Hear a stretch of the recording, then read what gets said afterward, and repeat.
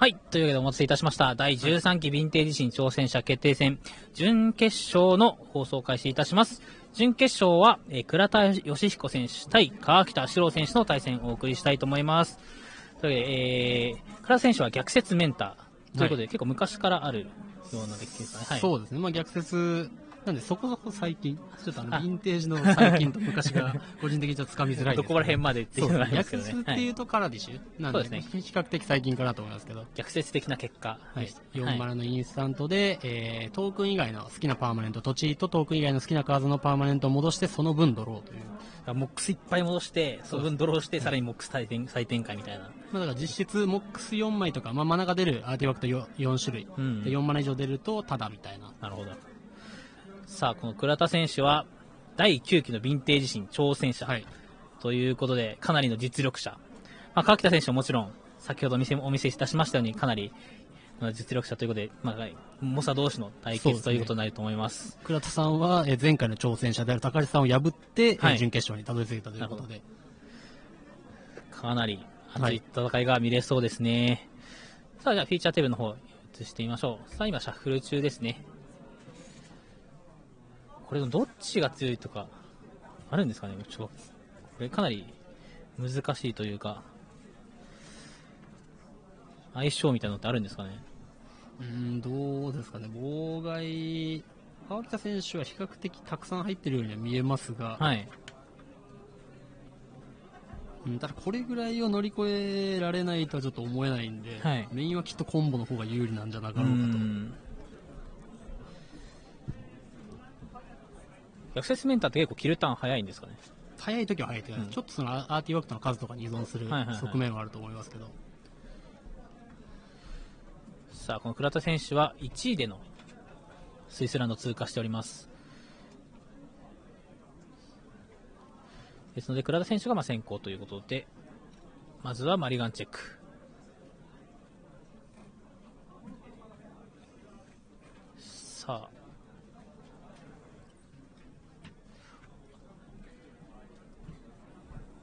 さあ逆説とソルリン、まあ、倉田選手はキープしてるように見えますね。川北選手は土地がないですかね。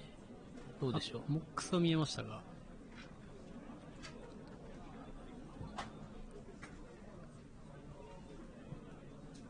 はい、川北さんは元レガシー新の川北史郎選手でございます。ヴィンテージでも神を狙って、トッペと入ったということになります。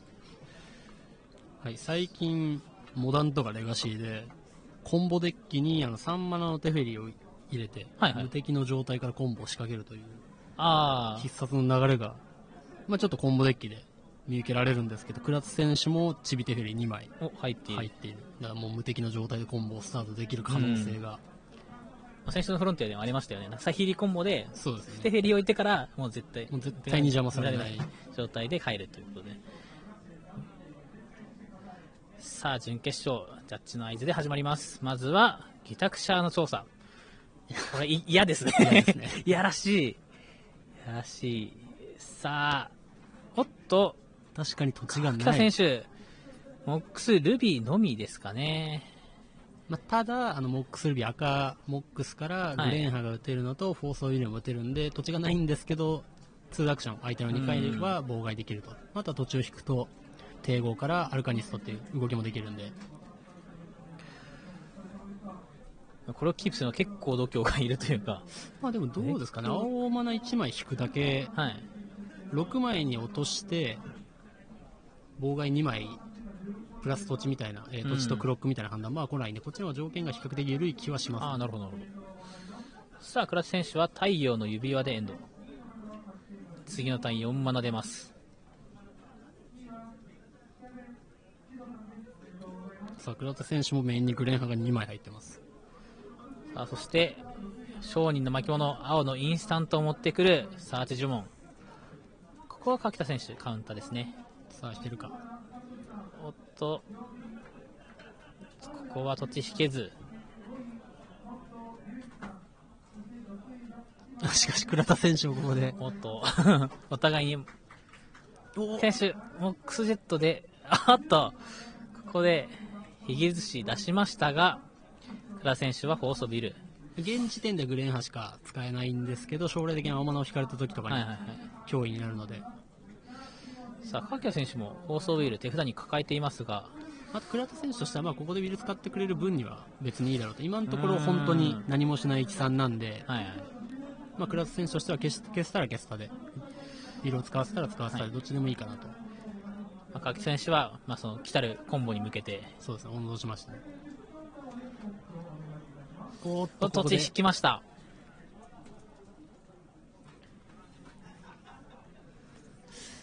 まあ、倉田選手も次のターンぐらいにはちょっともう1マナぐらいは用意したいところですよね。倉田選手、手札に多分グレンハが2枚あるんで、はい赤マナを引けるかどううかも、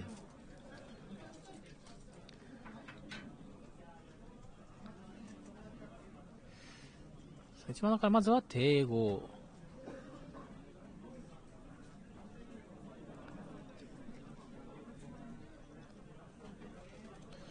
いいとな、ダクフェイデン。かなりえぐいですね。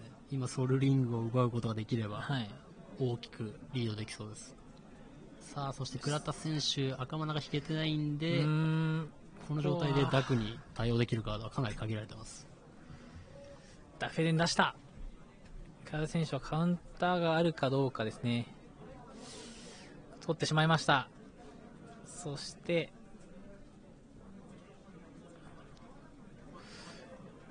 ここはソルリング奪われたのを対応して、春章の魔導士。まあ、一応最悪でもダクは殺せるように、うん。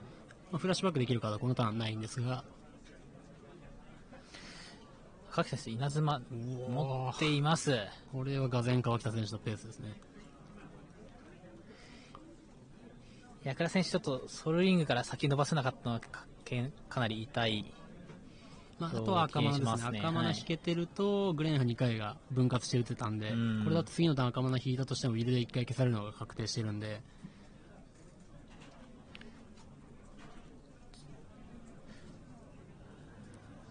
引いたのはモックスパールですかね。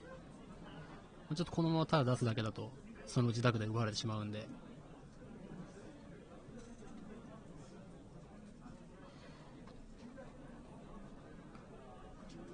さあ、3マナ。お？あ もうそのままアンセストラリコール打つよと。あ、なるほど。なるほど当人の巻物からのアンセストラルリコール。まあ、もう先ほどね、ダクが通ってる時点でもう、今引きのフォースウィルぐらいしかないんで、はいはいはいはい。もうここまで通るよねと。こ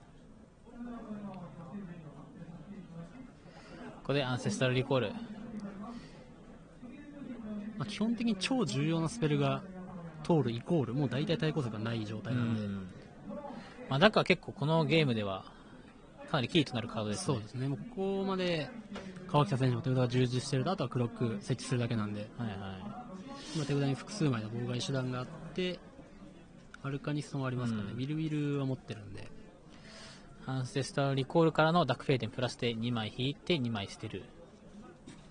まあ、実質5枚引いて2枚捨てるみたいな 動きになってますが。さあ、そしてアルカニスト。墓地には今打ったアンセストラルリコールが。やっぱアンリコをもう一回タダで使える人たちはちょっと テキストを改めた方がいいのでは。まあ春章の魔導士しかり、ねこの引き寿司もしかりですね。さあ、小倉選手。さすがにこれ以上は無理だということで投了ですね。第13期ヴィンテージ新挑戦者決定戦準決勝。まずは川北選手が一本選手です。いやー、ダックフェイデン。このマッチだとかなり効きそうですね。さあ、サイドボードに移りますが、川北選手はやはりアーティファクト対策そうですを打ってくるでしょうかね。かヌルロットみたいなカードがあればいいんですけど、そういった、えー場に置いとけるやつはないんで、力づくとシャッタリングスプレー、中パイかじり。とグレンハですかね。はい力づくとかシャッタリングスプレー、ちょっとあの、一応、あれでかわされるっていう、えー逆説でかわされてしまうっていうのはありますけど、まあ、こまめにアーティファクト壊しておけば、コンボを、えー遅れさせることはできるので、やっぱちょっと、ヴィンテージはアンリコが片方だけ解決させてしまうと、大体そのままゲームを掌握してしまいますね。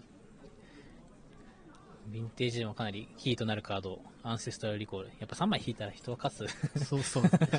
意外と勝てないこともあるんですけど、やっぱ年々カードが強くなってるのか、もうはいあんまり、あ3枚引いてもゲームぐだるだみたいなのあんま見なくなった気がします。うん昔は結構あった気がしますけど、引くカードがだんだん良くなっていくそうですねはい。まあ、ナーセットとか、いろんなカードが登場してしまったので、まあアルカニストもそうですよね。昔はなかったけども、今だと春章とかアルカニストがもう一回フラッシュバックさせてくれて、昔よりも気軽にもう一回使えてしまうということで。基本的に全体的にカードパワー、まあ新しいカードが入ってるってことは歴代のカードより強いから入ってるわけで、はいはいまあ年々本当に新しいカードがどんどんどんどん入ってきてるということはそれだけ各デッキがパワーアップしてると。さあ、倉田選手の方は、このジェスカイ・アルカニストに対しては、どういったアプローチをしていくかですね。あんまり大きな変更はなさそうですけどね、うんサイドからまあ稲妻入れて相手の減速を狙いつつ、あとはパイログラスを追加してとか3枚ぐらいの入れ替えで終わりそうですけど、まあ、倉田選手としては結構、マナをしっかり伸ばして、コンボにつなげたい、といったところですかね。さっきの展開だとちょっと、なかなか思うように動けなかったので、うんそうですね。まあ本当に赤マナ引けてるとだいぶ違うゲームになったと思うんですけど、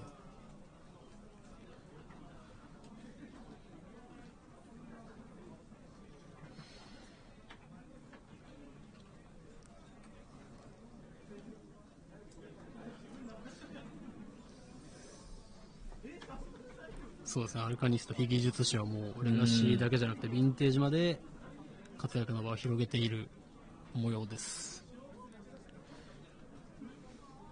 まあ春章と違って、ポチになくても出して、出しておいて、後からもう一回フラッシュバックできちゃうのは、まあそうですね、また本当にヴィンテージクラスになるとカードが強いため、プレッシャーがすごいという。結構地味なやっぱアドバンテージ合戦になったりするんで、はい。敬語をもう一回使うだけとか、試合もう一回使うだけでも、全然ゲーム変わりますからね。そして最高級になると、やはりアンセストラルリコールがうんもう一度使えると。本当にこのカードは、もう、準決勝ですけど、何回ゲーム決めてきたかとか、毎回、毎ゲーム打ってるアンセストラルリコール。アンセストラルリコール。まあサーチカードもありますしね、はいお互い。もうサーチカードも大体あれ持ってくるんじゃないかっていうぐらい。うん。それだけ強いカードということで。またナーセットだけにはちょっと、ナーセットとレオボルトにはついついついやっぱ、慣れてないと打っちゃうんで。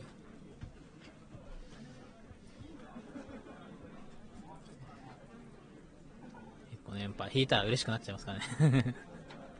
マジでコンマ1秒ぐらいでしましたからね。引いた打ったあアンセットいったみたいな。エンド。何も起こらない。1マナ寝た、1マナ寝てディスカードしただけでした。さあ、お互いシャッフル終わって、マリガンチェック。まあ、川北選手、先ほどメインボードでしたけど、妨害が2種類あるハンドをキープできたので、はい今回は妨害が複数枚あると、いいですが、今回はどっちもちゃんとありそうですね。さあ、倉田選手の方は、タイムバルト。お？これは、アップキープにアンセストラルリコール。新しく否定の力とかがはい。入ったんで、えっと、相手のターンに呪文を唱えるっていうことで、はいはいはいはい新しいメリットが生まれてるなるほ。ど。僕も封じ込める僧侶をドレッジ相手にメインで出してエンドしたんですけど、相手のアップキープじゃないと、あの黒の力によって死んでしまうことがあったりするので、あーあれ自分のターンだと3マナかかるんで、で僕のターンだと0マナなんですよね。ピッチで打つことができるんで。まあ、出た時に、出た、そのターン出た、はいリーチャーを殺すっていう。ただ自分のターンだと3マナかかる。っていうのをちゃんと覚えてプレイしていかないと、新しいカードをうん。かなり環境変えてるんで。一回やられないとちょっと覚え、わかんないですよね、そういうのは。わからん殺しの一種みたいな。おっとここは2枚フェッチを切って、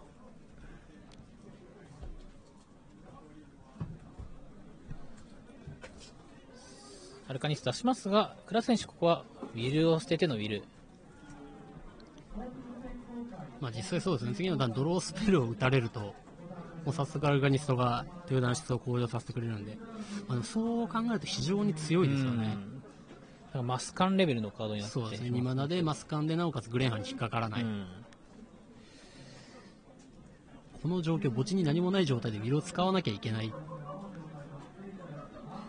お、ここでトレイアンのアカデミー。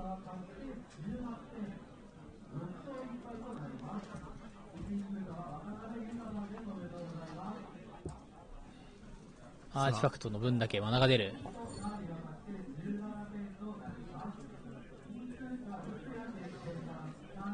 さあ、3マナで、お、7セットこれが出てしまうと、アドバンテージを得られなくなってしまいますが、フォーソビルを、ナーセット、柿田選手も持ってますね。というダックもありますよね、3枚目の土地もちゃんとありそうなんで、おディグを切ってのフォーストビル。さあ倉田選手、これを返さなかったってことは、今のところやはり対抗策はなさそうに見えますが、さあ、ナーセットをカウンターして、今度は柿田選手がナーセット出し返す展開になりました。強い4枚。えあ今ちょっと5枚目見ちゃいましたねそうです。ね、見えちゃいました。4枚見るところ5枚見てしまった今フォースビルと精神的つまずきそうですね、があったようですねまあ、川北選手、手札に、えーダックフェイデンが多分あったと思うんで、はいまあ、相手の色も加味して、そうですね、念のためコンボまで妨害できるフォースオビルを取るか、または、えー相手のグレンハをうん。手軽に消せるミスステップを取るか。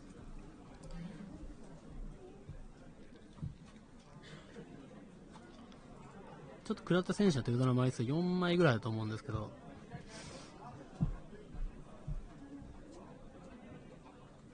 4枚ですね。さあ柿田選手は5枚を見てしまったのでまあその余分で見た前カードをシャッフルとデッキを無差回化するっていうジャッジが今判断下りましたね。さあ改めて4枚で解決。ここはフォースオブウィル。まあ、コンボまで見て、安全な方を取りましたね。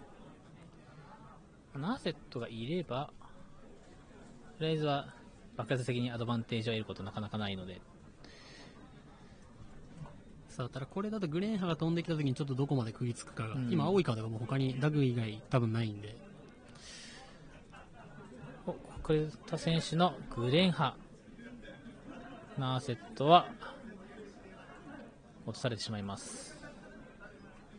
まあ先ほどまでのターンの経過的には、はい。ここのダグはほぼ間違いなく通ると思うんで、さあダックフェイデン。先ほどソウルリングを奪ったこのカード。すごいですね。モックスパール奪いました今度は。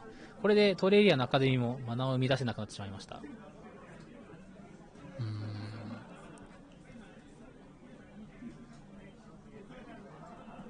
まあ、何気ないアーティファクトでも逆説に貢献したり、はい。トレイリアのアカデミーはあるので、見た目以上に痛いですね。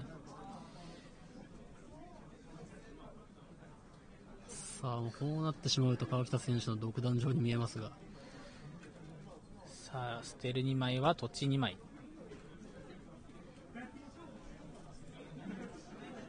先ほどと同じようにちょっと倉田選手またマナがあまり伸びない状態になってますね。おここでハーキルの召喚術。多分テキストがもうむちゃくちゃすぎてよくわかんないですけども、2 マナのインスタントでお互い、あえー、と場にある対象のパーマネント、対象のプレイヤーのアーティファクトをすべてオーナーの手札に戻す。うん。ということでモックスパールのモックスを手札に返しました。ここですがさあ次にモックスを唱えるときは何かしらアクションがあるときだと思いますけどね、うん。今はまあ一応ダクもいますし、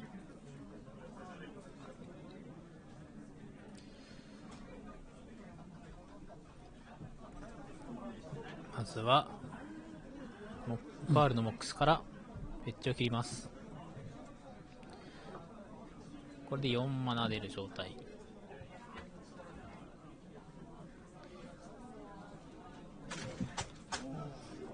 タイムツイスターがあるように見えましたけどね。タイムツイスター来ましたねこは、あーっと、グレンハが持っていた。お互い手札と墓地ですかね。を混ぜて7枚引き直す。3マナ。最近これ7セットと組み合わせて、えー相手だけ引けないというあー、ありますね。極悪のコンボが。えークラス選手当然7セットも入ってるので、そのコンボも内蔵されています。さっきモダンホライズンにフラあのフラッシュバックコストが3マナのやつでしたっけ？あーそうですね、入ってますね。あとあの、モダンですと1日のやり直しとはいはいはいかと7セット。最近7セットとコンボするカードは比較的注目されてますね。それだけ使われてるということですね。テフェリーパズルボックス。4マナの旧版とかにあるアーティファクトとか。はい。あれ、2枚引いて1枚してる？でしたっけ？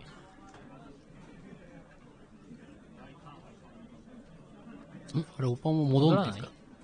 ん？コントロールしてたのは川北さんなんで戻ると思いますけど。先ほどダクでコントロール奪われてて、えーその状態で倉田さんが川北選手を対象にハーキルズリコールを打ったんで、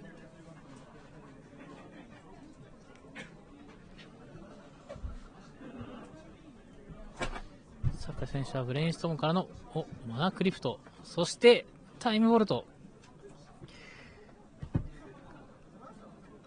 これは、無限ターンに入るか。通電式キーという対象の、これもちょっとルールが複雑なんですけど、基本的にはアンタップしない2マナのアーティファクト。バランス。さあタイムボルトは2マナのアーティファクトで、えー基本的にはアンタップしないんですけど、1マナで対象のアーティファクトをアンタップするっていうカードと組み合わせて、アンもう強引にアンタップして、で、タイムボルトがタップするとあなたは追加のターンを得るという効果があるので、はい。そして、天秤は、お互いの土地と手札とクリーチャーの数が少ない方に合わさると。まあ、今なので、倉田選手が手札がないんで、これが通った場合は川北選手手札が0枚になってしまうと。ただ、フォースビルですね。そして、ダックヘイデによってこのタイムバルトが奪われてしまう。そして2体目の、タクフェイデン。贅沢に 使用していきます。さあ、これで、え、本当だ、ハーキル、こんな特殊なテキストなんですね。プレイヤーがオーナーである。あ、そうなんですね。ちょっとですから、ちょっと戻ってしまったので、ありがとうございます。これはテキストを知りませんでした。ただちょっとゲームが進みすぎてしまっているので、このまま続行ですね。ああ、なるほど、なるほど。自分を対象にすればいいんですね。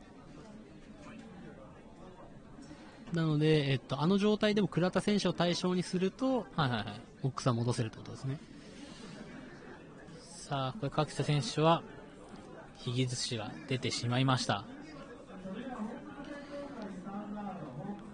さあ、倉田選手もちょっとガス欠の状態ですので、これから先はちょっとアドバンテージが開いてしまう一方。そうです。川北選手、ちゃんと対応策を持ってるっぽいので、で、ダクがいる、ダクがいて、ヒビジェツシもいるので、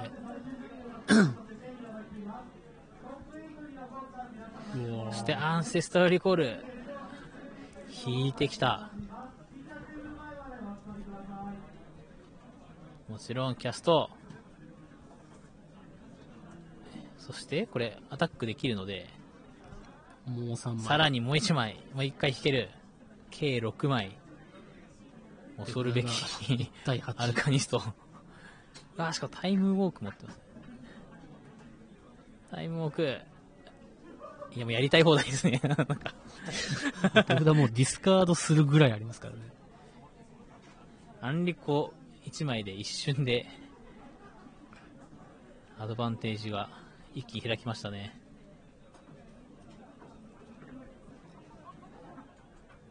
はい。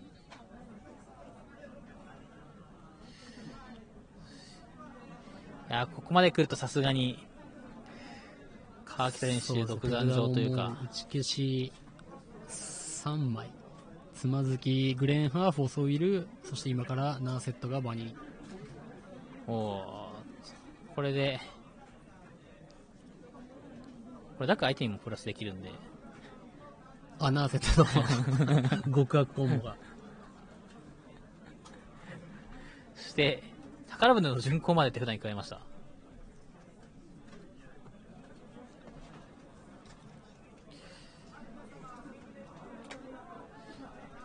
そして、さらに、さらに、さっきのターン6枚引いて、このターンを3枚引いて。まあ、ダクもいるんで、さっきのターンもっともっと引いてますね。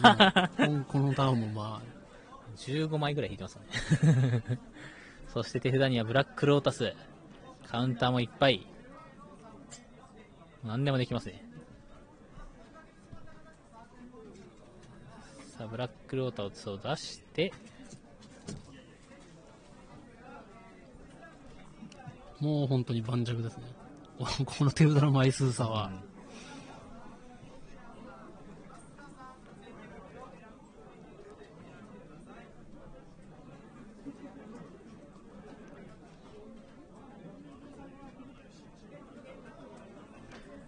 ヒゲ寿司が3体並ぶ状態。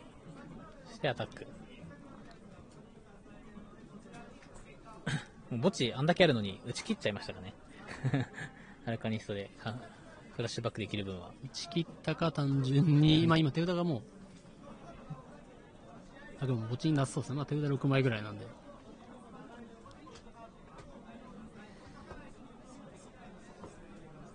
さあ、まずはシアン。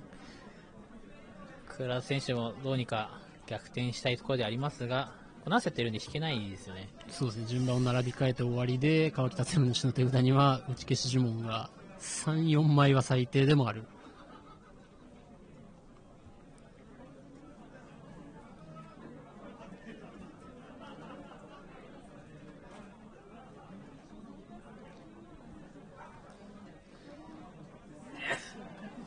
さらに帝豪。ここまで来るとかなり気持ちいいですかね。うん川北選手も。まあでもあと持ちよすぎて勝ち切るだけ、2ターンぐらい。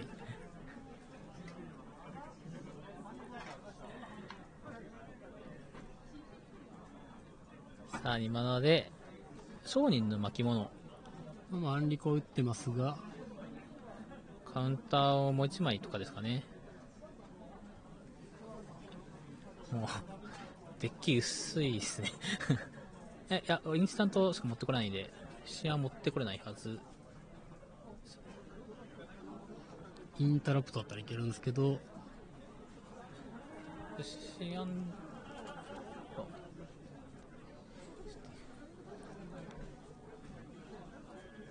進んじゃってますね。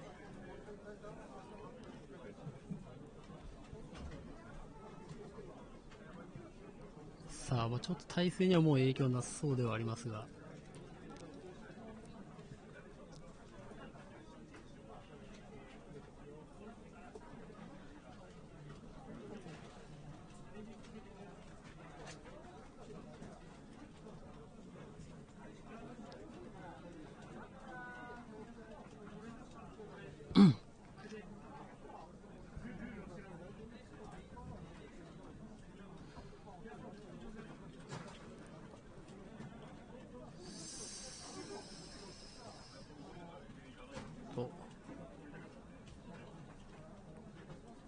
さあ、とりあえずはポンダと帝豪でさらに手札整えて、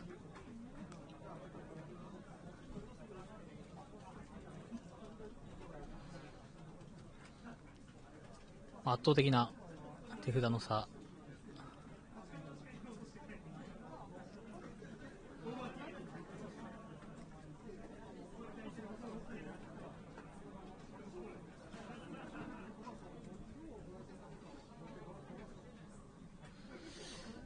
ここで、倉田選手、投了ということで、まあちょっと、あまりにもちょっと圧倒的な差でしたが、途中からやっぱりアンリコぐらいからもうかなり差が開いちゃいましたね。アンダク、ダクもかなり強かったですね。まあ、2体のプレインズウォーカーでドローしつつも、アルカニストでその使ったドローソースをさらに使っていくということで、さあ、第13期ヴィンテージ新挑戦者決定戦準決勝は川北選手勝利です。見事決勝進出となりました。さあ、サイド後に関しては川北選手の方が相性良さそうに見えましたが、サイドにしてる枚数的にも。対戦相手はどうなりましょうか。さあ、えー、と決勝戦ですが、はい19時40分開始ということになりましたので、えっ、と、一旦じゃあ40分までですね、はいえー休憩挟んでいた、挟んで、また再開したいと思います。19時40分です。はい皆さんもですね、お手洗いなどぜひ済ませて、決勝戦ご観戦ください。ここまでは実況私、トロピー大塚、そして解説、えー、ハリデアプロスの津村健二選手をお越しいただいております。それでは、失礼します。